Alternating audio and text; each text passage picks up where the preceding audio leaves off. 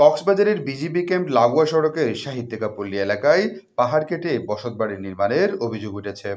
স্থানীয় এক প্রবাসীর স্ত্রী পাহাড় সাবার করছে বলে অভিযোগ স্থানীয়দের। স্থানীয়রা জানান, দীর্ঘদিন ধরে তিনি পাহাড় কেটে বসতবাড়ি নির্মাণ করছে, যার ফলে পার্শ্ববর্তী বাড়িগুলো ধসে পড়ার ঝুঁকিতে রয়েছে।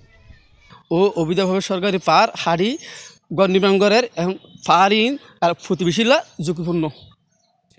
তবে এগুলো আশা করি মনিটরিং এর মাধ্যমে ইয়ে করলে পাহাড় কাটা নিয়ে যে মানুষের মধ্যে আসলে একটা সচেতনতা নাই।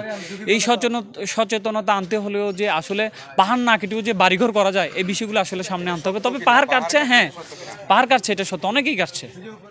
সাবিনানুর রিফি যখন পাহাড় কাটতেছে, দীর্ঘদিন আমি ওই এলাকার ছিলাম, চোদ্দ বছর। তো আমি আপনার সচেতন নাগরিক হিসাবে পাহাড় কাটার বিষয় নিয়ে আমি পরিবেশ অধিদপ্তর বিষয়টা জানা অবগত করি। এরপর পরিবেশ অধিদপ্তর এসে কোনো পদক্ষেপ নেয় নেয় উল্টো আমি ফেসে গেছি এই বিষয়ে প্রতিবেদন ও ভিডিও ধারণ করতে গেলে প্রবাসীর স্ত্রী অশুভন আচরণ করেন। চিৎকার চেঁচামেচি করে লোকজন জড়ো করে ফেলেন। পরে অবশ্য শান্ত হন এবং প্রবাসীর স্ত্রী লিপি আক্তার তার বিরুদ্ধে সকল অভিযোগ অস্বীকার করে বলেন, তিনি পাহাড় কাটেননি। তবে বাড়ি তৈরি করতে গিয়ে সামান্য পাহাড়ের অংশ কেটে সমান করেছেন। পাহাড় কাটায় আমি পাহাড় কেন কাটবো? আমার একটা যদি গোড় করতে গেলে আপনার স্কোয়ার করার জন্য সাড়ে পাঁচ দিয়ে আপনি ওইটাই সমান করবেন না, ওই অতটুকু করা। ওইখানে তো কোনো পাহাড় কাটানো পাহাড়ে ছিল না।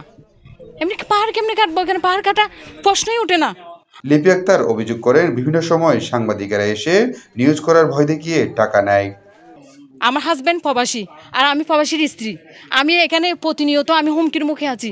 আমার বাচ্চাদের পড়ালেখার জন্য বের হতে পারছে না। প্রতিনিয়ত বিভিন্ন ধরনের সন্ত্রাসী, বিভিন্ন ধরনের চাঁদাবাজি, সাংবাদিক নাম নিয়েও অনেকে কিন্তু চাঁদাবাজি করতে আসে। পুলিশের প্রশাসনের নাম নিয়েও চাঁদাবাজি করতে আসে।